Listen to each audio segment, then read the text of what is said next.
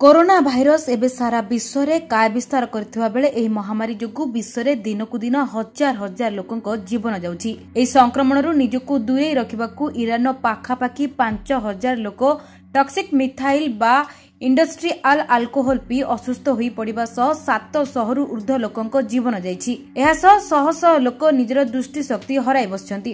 All ଜଜିରାରେ ପ୍ରକାଶିତ ଏକ ଖବରରୁ ଜଣାପଡ଼ିଛି କି ସୋସିଆଲ ମିଡିଆରେ ଟକ୍ସିସ୍ ମିଥାନଲ ସେବନରେ କରୋନା ଦୂର ହୁଏ ବୋଲି ଭାଇରାଲ ହେବା ପରେ ଲୋକେ ଏହାକୁ ସେବନ କରିଥିଲେ। ତେବେ ଏହାପରେ ଉକ୍ତ ବିଷାକ୍ତ ଆଲକୋହଲକୁ ପିଇ ପ୍ରାୟ ସାତଶହରୁ ଉର୍ଦ୍ଧ୍ୱ ଲୋକ ମୃତ୍ୟୁବରଣ କରିଛନ୍ତି। ଏନେଇ ଇରାନ ସରକାର ସୂଚନା ଦେଇଛନ୍ତି। Bureau report DTV Odia. ଘରେ ଟେନସନ ବାହାରେ ବି ଟେନସନ। ପୁଅର ଚାକିରି ପାଇଁ ହଉ ଝିଅର ବାହାଘର ପାଇଁ ହଉ। ଘରେ ଅଶାନ୍ତି ମୁଣ୍ଡ ଉପରେ ଋଣର ବୋଝ କୋର୍ଟ କଚେରୀ ମାମଲା ଆଉ ଜମି ଜମା ବିବାଦ। ଏ ସବୁ ଭିତରେ ଆପଣମାନେ ଘାଣ୍ଟି ହେଉଛନ୍ତି ନା? ଏହିସବୁ ଟେନସନରୁ ମୁକୁଳିବାର ରାସ୍ତା ଖୋଜୁଛନ୍ତି କି?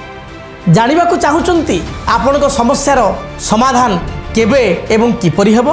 ଦେଖନ୍ତୁ ଭାଗ୍ୟଚକ୍ର। ଆପଣ ସମସ୍ତ ପ୍ରଶ୍ନର ଉତ୍ତର ପାଇପାରିବେ ଆମ କାର୍ଯ୍ୟକ୍ରମରେ। ଭାଗ୍ୟଚକ୍ର। ପ୍ରତି ମଙ୍ଗଳବାର ଗୁରୁବାର ରବିବାର ରାତି ନଅଟାରେ କେବଳ ଡି ଟିଭି ଓଡ଼ିଆରେ